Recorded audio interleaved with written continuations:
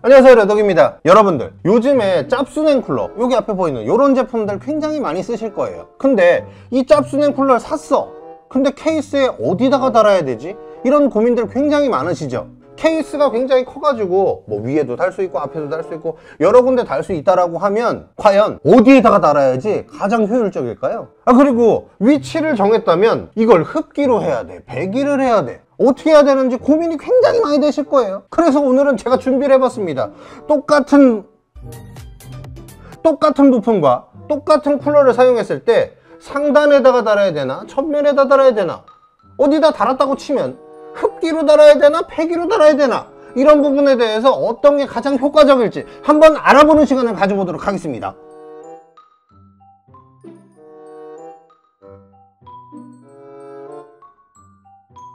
먼저 각각의 장단점에 대해서 알아볼게요. 상단 흡기는 라디에이터에 외부의 찬 공기를 그대로 때려 박을 수 있기 때문에 이 쿨링에는 굉장히 효과를 볼 수 있을 거예요. 근데 반대로 생각해보면 이 뜨거운 라디에이터의 뜨거운 열이 흡기로다가 본체 내부로 빨아들인다. 그러면 안에 그래픽카드나 이런 것들이 있을 테니까 오히려 얘네들한테 역효과가 생길 수도 있을 것 같아요 상단 배기의 경우 내부의 공기를 외부로 빼기 때문에 공기 순환에는 도움이 되겠지만 내부의 뜨거운 공기가 이 CPU 쿨러의 라디에이터를 지나기 때문에 CPU 온도 유지에서는 조금 떨어질 거예요. 전면에 라디에이터를 장착하는 경우에도 뭐 비슷한 내용이에요.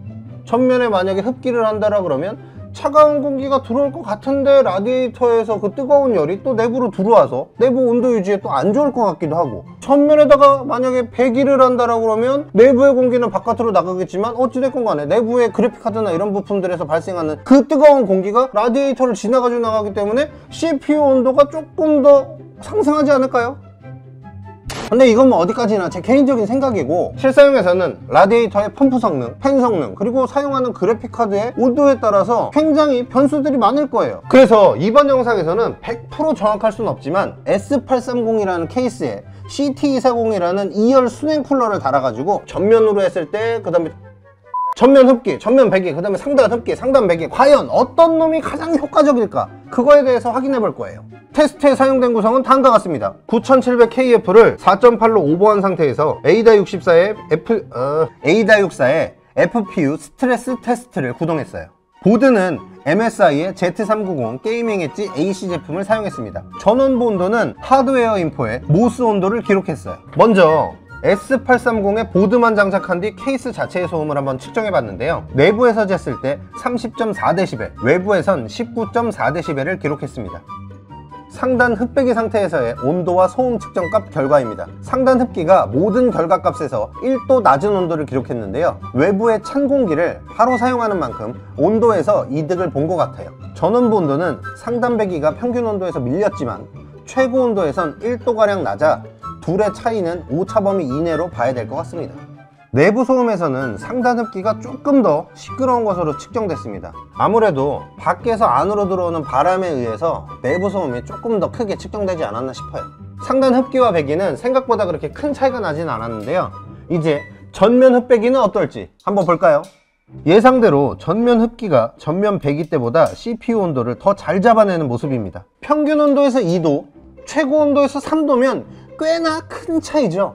이 전면 흡배기 모두 상단 흡배기랑 비교했을 때 크게 차이가 나는 만큼 전면 샌드위치가 가능한 케이스라면 무조건 전면 샌드위치를 추천하고 싶어요.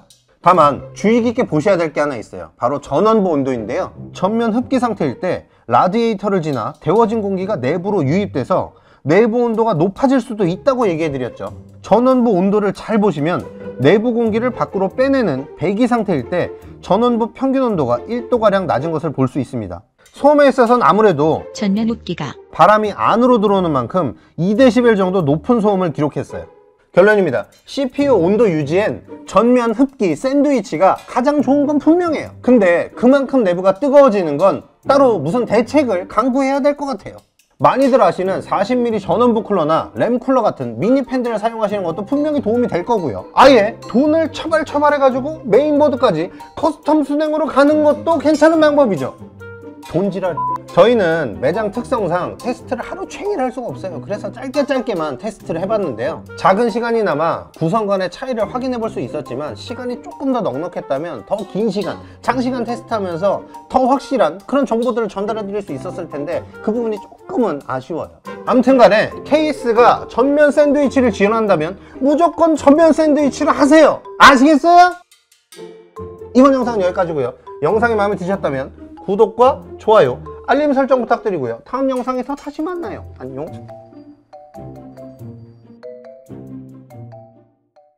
AIDA 64의 FPU 스트레스 테스트를 구동했고요. 스트레스 테스트 왜 이렇게 안 되냐 발음이? AIDA 64의 FPU 스트레스 테스트 왜 발음이 안 되지? AIDA 64의 FPU 스트레스 테스트를 스트레스 테스트가 왜 발음 안 되는 거야?